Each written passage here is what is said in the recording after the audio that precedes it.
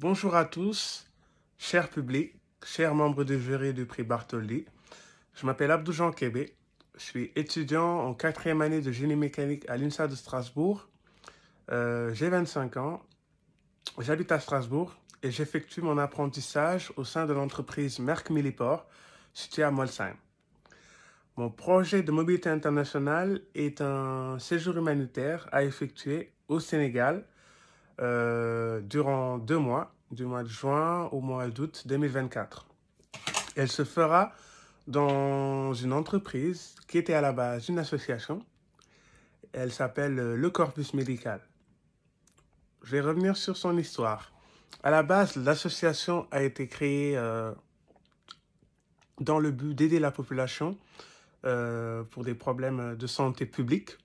Elle organisait des journées de sensibilisation, des journées de dépistage et euh, des journées de don de sang. Donc tout ce qui pouvait aider la population euh, en ce qui concerne la santé. Et elle s'autofinançait à travers la contribution des membres et éventuellement euh, des aides venant d'autres grandes ONG. Par la suite, les membres se sont dit qu'il leur fallait plus d'autonomie. Donc, ils ont créé une entreprise euh, sur la base de l'association. Et le but de l'entreprise, c'est que c'est le même but que pour l'association, c'est-à-dire de répondre à des problématiques de santé publique, mais également de faire du profit. Et ce profit servira à financer les activités de l'association.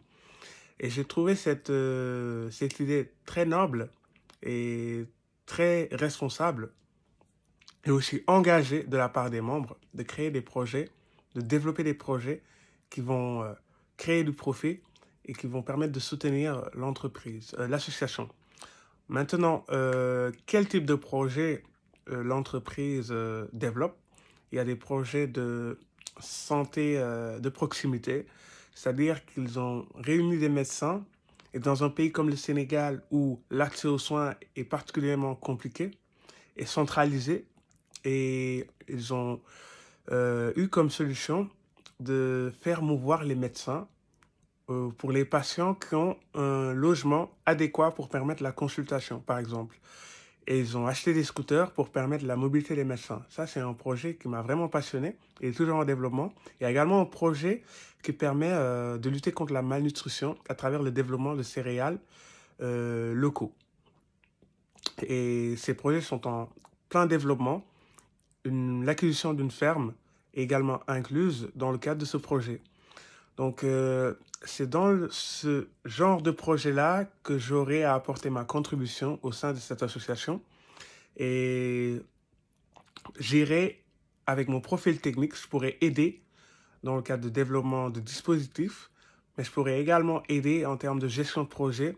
Et ce sera une expérience riche euh, et très inédite pour moi. Donc, euh, je sollicite votre soutien, euh, notamment euh, à travers l'attribution de cette bourse. Et je suis sûr et certain que cette expérience sera une réussite. Merci.